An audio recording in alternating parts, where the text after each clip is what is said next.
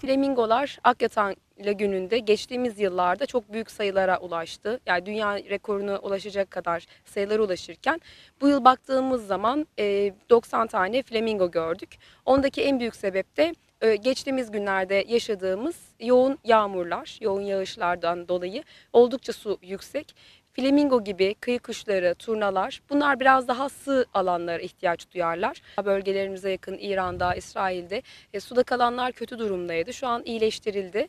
E, oraları da yine tercih ediyorlar. O yüzden sayı biraz daha az. Dediğim gibi kıyı kuşları da onlar gibi su seviyesi yüksek olduğu için, kıyılar azaldığı için çok yüksek sayıda değil. E, Sakarmeke dediğimiz e, su kuşları var. Türkiye'de en fazla sayılan su kuşu. E, İç bölgelerde, İç Anadolu'da çok fazla bir yağ, yoğun kış gözükmedi. Göller donmadığı için normalde İç Anadolu'da göller donduğu zaman ya da e, Avrupa'da donduğu zaman e, özellikle Adana bölgesine, Doğu Akdeniz bölgesine sığınmak için kuşlar geliyorlardı. Ve e, Adana'da toplam 400-500 bin civarında biz kuş sayıyorduk. Ki bu Türkiye'nin, e, Türkiye ortalamasının yaklaşık dörtte biri. E, 2017 yılında e, yaklaşık 96 bin civarında flamingo saymıştık biz Adana ilinde toplam. Bunların 89 bin tanesi Akyatağ'ındaydı. E, bulunduğumuz bölgede yaklaşık 3 bin civarında flamingo görmüştük.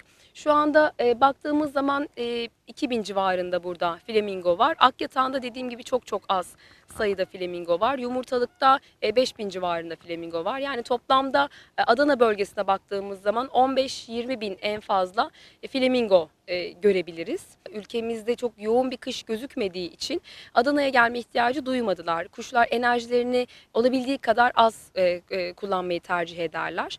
Ve e, göçler kuşlar için çok çok ağırdır aslında. Çok uzun mesafeleri kat etmek çok kolay değildir.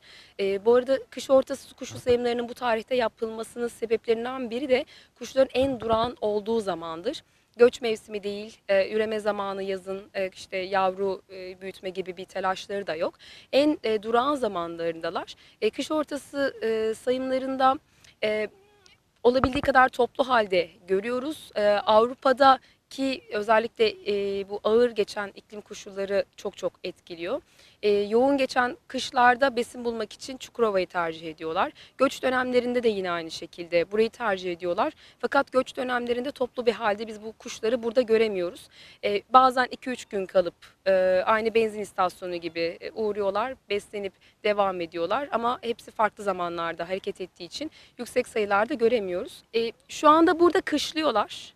Bazıları Adana'da yerli olan türler İzmir'e gidebilirler, e, Fransa'ya gidebilirler ya da İsrail civarına daha yakın bölgelere gidip geliyorlar. Küresel ölçekte bu sayımların yapılmasının sebepleri de zaten yine dediğim gibi küresel ölçekte bu kuşların nüfuslarını kontrol etmemiz. E, nüfusların azalışı, artışını tespit edip azalış varsa bu azalışın sebebi nedir gibi soru işaretlerini gidermeye çalışıyoruz.